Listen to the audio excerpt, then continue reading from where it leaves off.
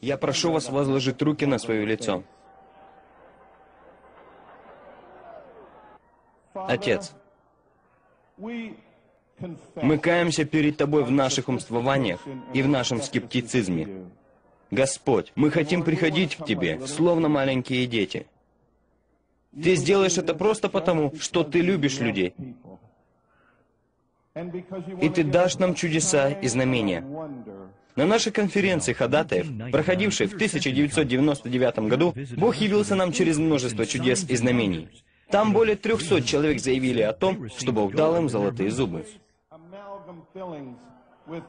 Наполни уста людей золотом и платиной и запечатли их, Господь, как Ты сделал это в Южной Африке. Эта драгоценная женщина, Бог дал вам четыре или пять, или даже шесть золотых зубов. Видите, она открывает рот. Я хотел бы, чтобы она что-то сказала, а не просто открыла рот. Только посмотрите, вот золотые зубы. Вы видите там, сзади, в глубине.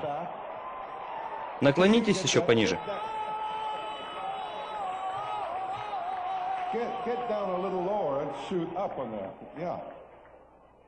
Откройте еще разок.